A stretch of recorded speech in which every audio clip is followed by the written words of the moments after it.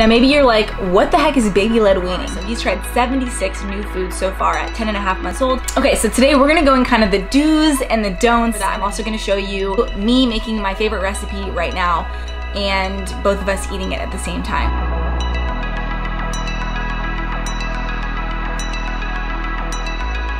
Hopefully you guys can't hear that in the background. I'm not sure if you can, but we are getting a new deck and so they're screwing in board by board right now. So, you know, gotta do what we gotta do. Zion is sleeping, and so I gotta get her done. Alright guys, welcome back to my channel. My name is Ronnie Mae Razor, and for anyone who's new here, I like to share what works for us so that hopefully it can also work for you. I'm a mom of a 10-month-old boy named Zion, and we're just kind of going with the flow and seeing what works and what doesn't work. Now, today we're talking about baby-led weaning, as you saw by the title. Now, maybe you're like, what the heck is baby-led weaning?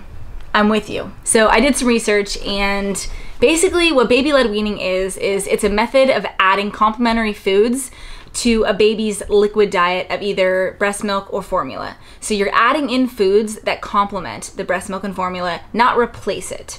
Now, baby-led weaning is something that I found through some research. I was talking to my pediatrician at his six-month appointment, and I had been researching this since probably about four months on. Baby-led weaning is a little bit more of a progressive style of eating, and it's where babies feed themselves and it allows them to develop the oral and motor skills that they need while also developing that important pincer grasp. It also teaches them to kind of spit out or gag maybe what's not appropriate for them and they kind of learn food by doing it themselves. Really, it's preparing foods as I would eat them in a safe way for him to also be able to eat it. That's a really rough explanation, so feel free to actually look up the real definition of it, but that's kind of the general idea. So we decided with my pediatrician not to start Zion on solids until he was six months old, until he had full head control, and until he was showing, you know, signs of readiness. He was showing interest in food. He didn't have the tongue thrust reflex anymore, which is basically where they try to push food out of their mouth, like meh. So for me, I went about the approach that, you know, we would do purees for a few days and then kind of add in the food as the food is meant to be. You know, it's really important this self-feeding idea that we do it properly and that we do it safely. So there are some guidelines that I'll talk about that I did, but again, you should always, always, always do your own research and figure out the safest way for you to serve your baby food. Okay, so today we're gonna go in kind of the do's and the don'ts. I've also got some tips and tricks for a little bit later on, so make sure you guys stick around for that. I'm also gonna show you me making my favorite recipe right now and both of us eating it at the same time. So again, what I love about baby-led weaning is that I can prepare foods that I enjoy and then also serve them to Zion at the same time, which just saves a lot of time for me and it makes meal prep super easy. We're about 10 and a half months in, so we're almost to that one year mark and they say at the one year mark, um, food starts to kind of take over what the breast milk and the formula are doing right now. So my goal is to breastfeed really as long as possible or as long as he's still interested in it, but to always incorporate new and exciting foods and new textures as well.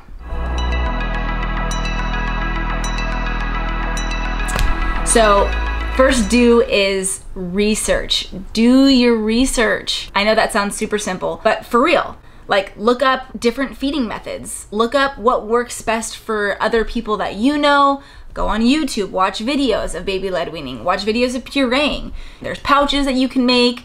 You can buy pouches, you can, you know, buy glass jars of food, you can make your own baby food by pureeing it, and then you can also do baby-led weaning. So there's tons of different kinds of methods to feed your infant. So for me, I looked to registered dietitians, I looked to infant feeding experts, I looked to speech language pathologists, I looked to the people who actually research you know, modern day techniques for feeding infants.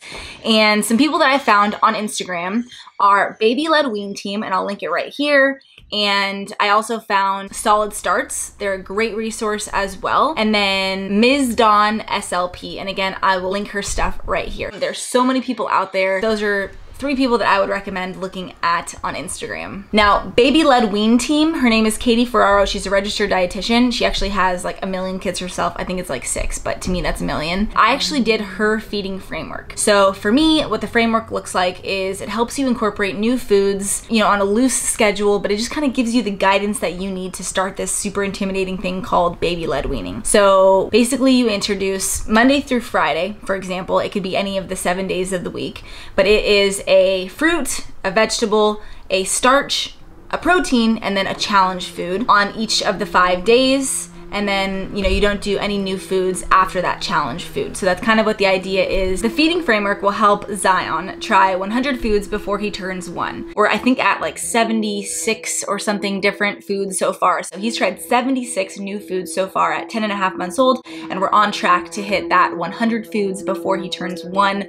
milestone which i'm super stoked on He's honestly an amazing eater. There is nothing that he doesn't like. The only thing that he didn't really love was avocado at first. He didn't love the texture or the taste, which if you know my dad, he was the avocado connoisseur. But don't worry, Zion enjoys avocados now. Now, another do is to prepare the food safely. This is probably like the number one thing with baby led weaning that I hear is that people are scared of choking, which Hello, yes. I am terrified of Zion choking on anything. I'm terrified of anyone choking on anything with eating. I actually was sitting next to um, a friend of ours' grandfather who ended up choking on his food, and we had to do the Heimlich maneuver and call the paramedics. And so, food can be scary for any age. I don't care what you say, anyone can choke on a piece of meat, anyone can choke on something. And so, again, preparing food safely for your infant is the number one thing to control. So, what that looks like is in the beginning doing the long strips. I'm gonna show the picture right here. But again, long strips um, and minimizing the food choking risk. So another thing to limit choking is to just always, always, always be sitting within arm's reach of your baby as they're starting out and as they're eating.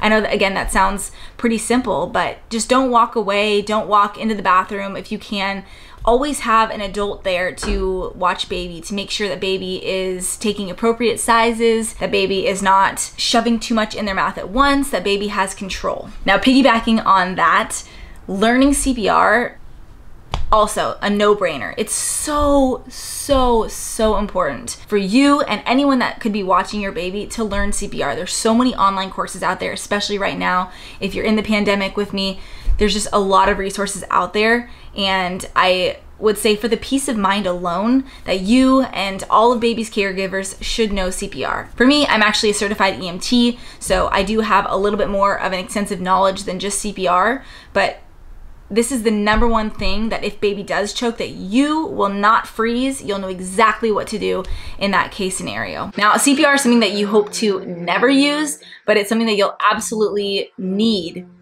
if you need it. You know, it's essential to learn it. So again, I'm empowering you right now. Go learn CPR. Now, another do is to research gear. You don't have to go out and buy a crap ton of stuff. I mean, your baby is probably just fine feeding out of your hand. But I will say that, you know, you want to develop good habits. And so for me, it looks like Zion feeding himself. Now I want to set him up for success with this. And so we got him a silicone food bowl that does suction so that he can grab it himself and that he can actually use the side of the bowl to kind of scoop and put it in his mouth. Also certain bibs. For us, we like the silicone bibs with a little catching mechanism there. It looks like a little, you know, pouch. He can just grab it out of there even and it kind of catches all the mess that he makes underneath. For some people, they really like the Bapron bibs, which are, it's a bib, but it's also kind of a wraparound apron at the same time. I'll link that in the description. You can look into that one. And then also a high chair. Now, I want you to think about this. Your baby, if they're eating even one to maybe three times a day, they're probably gonna be in their high chair more often and more frequently than they are their stroller. It's crazy to me that so many people look up strollers and they research strollers, but they don't actually look up high chairs. And I was that person. I had no idea. A high chair is a high chair, but not all high chairs are created equally. So if you can just listen to me, what I've learned is that high chairs need to have adjustable footrests. So that means the footrest that can go up and down so the baby can place their feet down on that footrest. God forbid they choke. Hopefully they'll be able to push off of that to then expel that food that's stuck in there. So think about it. If you were sitting there and your feet were dangling on a chair, it would be a lot harder to kind of choke out the food than if you could actually firmly place your feet on the ground and help your diaphragm push that air up to then expel that food out. So again, looking for a high chair that has that adjustable footrest, that has a little bit of support around them, but you don't want it to be too constricting And then you want the straps to be able to easily be removed off of them so that if they are choking, you can take them out quickly. So you don't want too restrictive of harnesses. Now, my child is Houdini and probably could escape from anything. So again, you do want some good straps, but nothing that's too crazy, at least in the beginning as they're learning how to eat. Now, another do with baby-led weaning is get a little crazy. Don't be afraid to get a little wild. Give your baby spices, you know, not spicy foods, but spices, right? So we can give baby that Italian herb seasoning. Babies can have curry. Babies can have garlic. Babies can have pepper in moderation, of course, right? You want to slowly introduce these flavors to them, but foods don't have to be super bland. So don't be afraid to experiment with baby and give them a little bit of spices. Zion loves lemon pepper, for example. I do the no sugar added lemon pepper, and I promise you, you'll be super impressed with their eating abilities. Okay, the last do that I have is do let your baby feed themselves. This is gonna be extremely hard, especially in the beginning, because they're not gonna know how to do it. You're not gonna know how to do it, and you're gonna wanna intervene a lot. So I'll say, even if it's a mess, which it will be, especially in the beginning, it does get better by the end, but especially in the beginning, treat it as sensory play. So treat food as something that your baby can explore, as new textures, as new tastes, as kind of this exciting thing. And, you know, if it gets to be too much for you, then save messy foods for bath time days. Sit on your hands if you need to. Really try not to intervene as much as you can because it's so, so, so good for them to learn, especially in those early days. Okay, let's talk about some don'ts.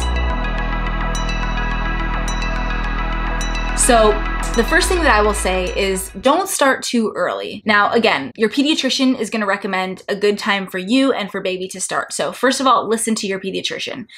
But a lot of modern research is saying that there are some key things that babies should know and should be able to do before they can start actually feeding themselves because they're not yet developed appropriately. So some things that I've researched and that again, hopefully you'll research on your own as well, is that babies need to be able to sit up on their own. So they need to be fully sitting unassisted before you can start feeding them. Another thing is that they need good head control. So if they're kind of you know, doing this swaying thing, how can they swallow effectively if they can't even hold themselves up? So they need good trunk support, they need good neck support, and they also need to be able to exhibit that they're not showing any signs of that tongue thrust reflex. So that bleh, where they just instantly you put something in their mouth and then they just spit it right back out. They should be able to keep it in their mouth and then, you know, work their way down to swallow it. Okay, another super important don't would be to not give baby any choking hazards. So that means no hard candies, right? No sticky globs of nut butters, no honey. That's huge. No honey before their age one because of the risk of infant botulism and no dried sticky fruit either. Those are all super tough things for babies to, you know, get down and those can lead to choking hazards. We don't want that. I have to sneeze. Okay, another don't is don't freak out if baby gags. So baby's gag reflex is actually more towards the middle of their tongue as opposed to where ours is the back of our throat. Theirs is a little bit more forward in their mouth and so they are more prone to gagging. This is gonna be something that is absolutely terrifying to witness. It is really important that you learn the difference between gagging and choking. This is something that I had no idea about either. And so if you have never heard of this before, again, don't hold it against yourself. It's just something that you should be aware of. I'm going to link an article from Solid Starts here about the difference of gagging and choking and what gagging will look like. Now, a general rule of thumb is that gagging is usually red and it's loud and they're, you know, actively working it out. You can hear them coughing, you can kind of see them working through it. The difference between that and then choking is the noise and the color. Babies who are choking are blue and silent, right? Like there's no sounds coming out of them and they are turning blue. That's when you whip out that choking intervention and do whatever you can to get the food that's stuck in their throat expelled. Now, if babies are gagging, that's again when you've got to sit on those hands and let them work it out. Be ready to intervene, but don't intervene until absolutely necessary because you can actually lodge that piece of food further in. So if you're reaching in there blindly with your finger, you have a higher chance of actually pushing that food deeper into their mouth and their throat. And in EMT school, that's the first thing that we learn is to let the babies expel it out but to work from an exterior point of view. So do what you can with the back thrust, do what you can if you need to with some chest compressions, but never blindly reach into their mouth. Again, if you take CPR, they're gonna teach you this and that is so, so, so important. So learning how to effectively remove a piece of food that's lodged in a baby's mouth is also something that we do want to learn. All right, so Zion just woke up from his nap. While he's eating his banana, we are gonna make some sweet potato lentil veggie burger patties. And they are so easy to make and delicious. And let's get right on into it. So you're gonna need some rolled oats, just quick cooking rolled oats, some green whole lentils, really any color lentils, I don't think it matters.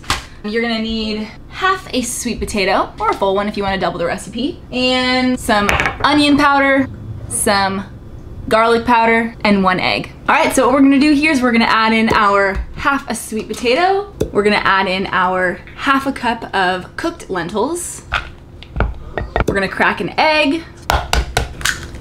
And we need about a fourth of a cup of rolled oats.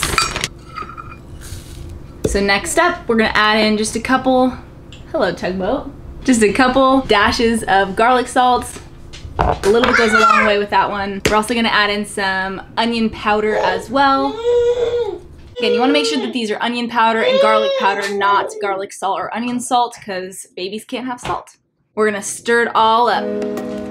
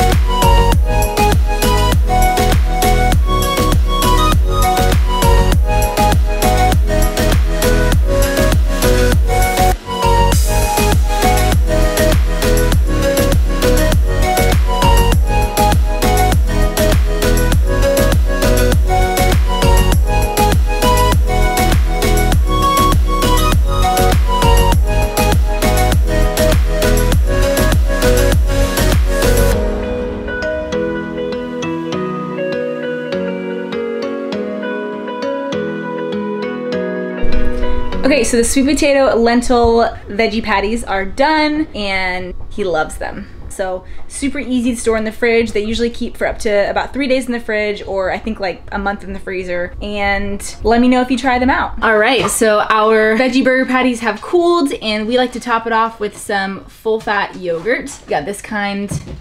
I like to spread just a thin layer on the top of it. Just to kind of moisten it up a little bit. Mm. Yeah, someone is hungry in the background, as you can tell. So again, we're just gonna do a light layer and we will cut it up.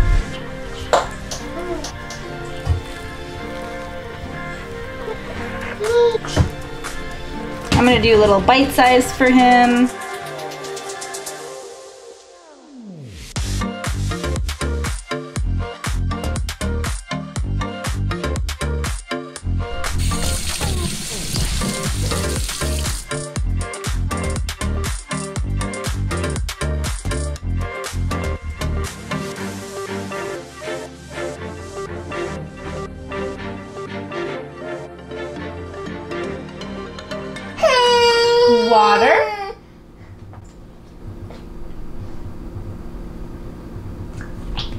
Whoa! We're still getting used to water out of our EZPZ. So we are eating our lunches together today.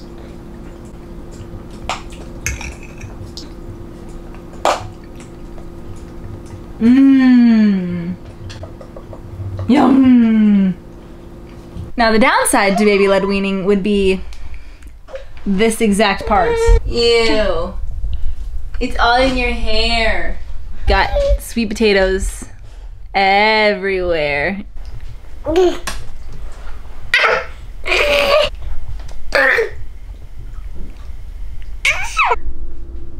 Okay guys, so it's actually the next day, but we are gonna wrap it up here. Thank you guys so much for watching. Hopefully some of the things that worked for us in this video will also work for you. Go ahead and like and subscribe this video if it did help out, and we will see you in the next one. Bye guys.